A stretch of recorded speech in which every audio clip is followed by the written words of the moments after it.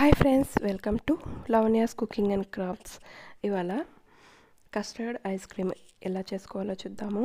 వయసుతో సంబంధం లేకుండా పిల్లలకి పెద్దలకి అందరికీ నచ్చే అందరూ మెచ్చే ఐస్ క్రీమ్ని ఎలా చేసుకోవాలో చూద్దాము. ఇంట్లో ఉన్న వాటితోనే ఎలాంటి ప్రిజర్వేటివ్స్ వాడకుండా ఈజీగా ఎలా చేసుకోవాలో చూద్దాము. ముందుగా స్టవ్ వెలిగించుకొని కడాయి పెట్టుకొని అర లీటరు పాలు పోసుకుందాము.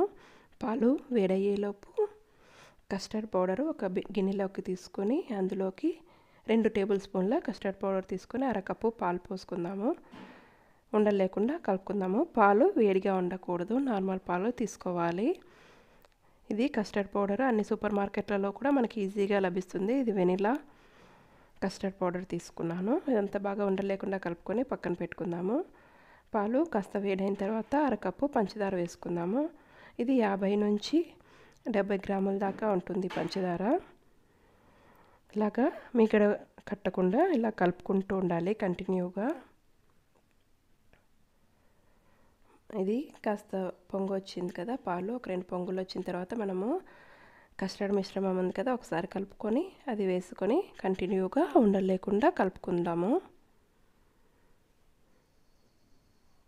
ఇలాగా ఇప్పుడు ఈ కన్సిస్టెన్సీ వచ్చిన తర్వాత ఇప్పుడు ఇందులో వెనిలా ఎసెన్స్ వేసుకుందాం. వెనిలా ఎసెన్స్ పూర్తిగా ఆప్షనల్ మాత్రమే. ఇప్పుడు స్టవ్ ఆఫ్ చేసుకొని కంటిన్యూగా చల్లారేంత వరకు ఇలాగా కలుపుకుంటూ ఉంటే ఇది మేకడలాగా ఫామ్ కట్ అయ్యి గడ్డ కట్టకుండా బాగా ఉంటుంది.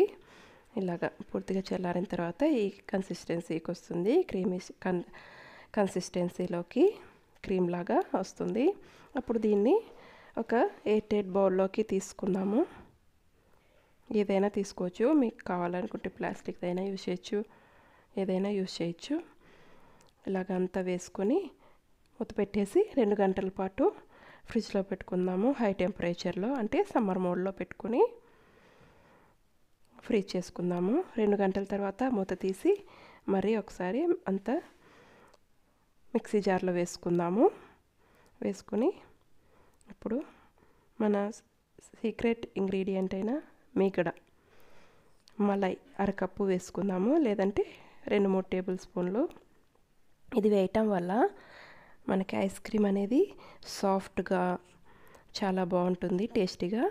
ఇది అనేది రెండు మూడు రోజులది మాత్రమే వాడాలి ఇది ఎక్కువ రోజులది వాడకూడదు. పాల మీద మీగడనే తీసుకోవాలి. పెరుగు మీది మీగడ తీసుకోకూడదు. అంతా ఆపి ఆపి గ్రైండ్ చేసుకోవాలి ఎక్కువసేపు. అలాగే కంటిన్యూగా గ్రైండ్ చేస్తే మీగడ అనేది వెన్నలాగా ఫామ్ అవుతుంది కాబట్టి ఆపి ఆపి గ్రైండ్ చేసుకోవాలి. ఈ కన్సిస్టెన్సీ వచ్చేలాగా క్రీమీ కన్సిస్టెన్సీ వచ్చేలాగా అంతా మది మరి అదే బౌల్లోకి తీసుకొని టూటీ ఫ్రూటీ డ్రై ఫ్రూట్స్తో ఇలాగా గార్నిష్ చేసుకొని కలుపుకోవాలి కలుపుకోవాలి ఇలాగా ఇది. ఐస్ క్రీమ్ తినేటప్పుడు పంటికి తగులుతూ బాగా టేస్టీగా ఉంటాయి. ఆప్షనల్ మాత్రమే. లేదంటే స్కిప్ చేయవచ్చు. దీన్ని అంతా ఒకసారి ఇలా కలుపుకొని మూత పెట్టేసి ఎనిమిది గంటల పాటు ఫ్రిడ్జ్లో పెట్టుకోవాలి హై టెంపరేచర్లో. లేదంటే ఒక రోజు అంతా కూడా అలాగే వదిలేయచ్చు. నేనేమో ఒక రోజు పెట్టాను నెక్స్ట్ డేకి అంత బాగా ఇలాగా బాగా ఐస్ క్రీమ్ రెడీ అయిపోయింది. దీన్ని స్కూప్ ఉంటే స్కూప్తో కానీ లేదంటే మనకి రసం గరిటెలు సాంబార్ గరిటెలు ఉంటాయి కదా దాన్ని ఒకసారి వాటర్లో డిప్ చేసి తీస్తే ఈజీగా వస్తుంది నీట్గా. చూసారా ఎంత బాగుందో? దీన్ని డ్రై ఫ్రూట్స్తో గార్నిష్ చేసుకుంటే మనకి creamy custard ice cream ready అయిపోయిందండి. మీరు ట్రై చేసి ఎలా వచ్చిందో చెప్పండి కామెంట్స్లో. నచ్చిందా అండి? నచ్చితే లైక్ చేసి షేర్ చేయండి మీ ఫ్రెండ్స్కి రిలేటివ్స్కి. సబ్స్క్రైబ్ చేసుకోకపోతే సబ్స్క్రైబ్ చేసుకుని పక్కన ఉన్న బెల్ బటన్ ఆల్ అని ప్రెస్ చేస్తే నేను పెట్టే వీడియోస్ అన్ని నోటిఫికేషన్స్ వస్తాయి. ఈ వీడియో చూసినందుకు ధన్యవాదములు.